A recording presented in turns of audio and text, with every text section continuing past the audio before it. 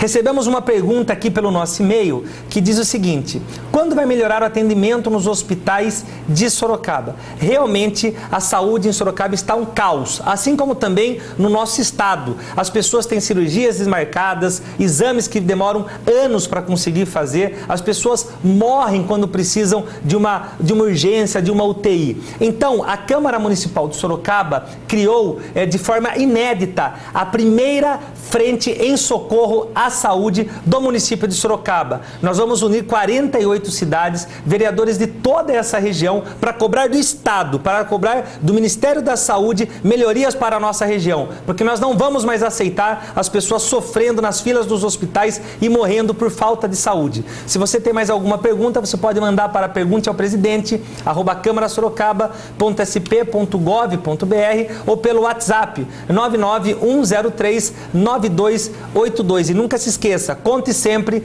com a Câmara Municipal de Sorocaba.